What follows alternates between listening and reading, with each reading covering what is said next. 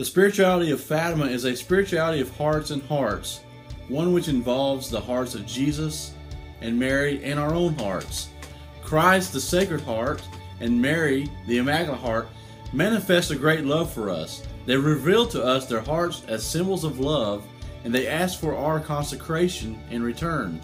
To say yes is to be to live out our baptismal consecration in a most special way. To say yes to the request is our salvation.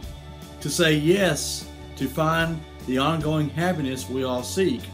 To say yes is to dwell secure in their two hearts, where we feel loved and protected, where we find peace and where we find joy.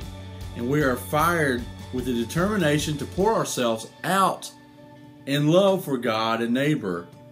To say yes is to go to the Father with and through Christ and the Holy Spirit, with Mary, our mother, at our side.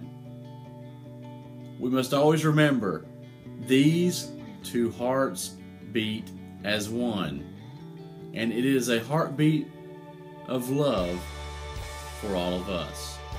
God bless you, and we'll see you next time.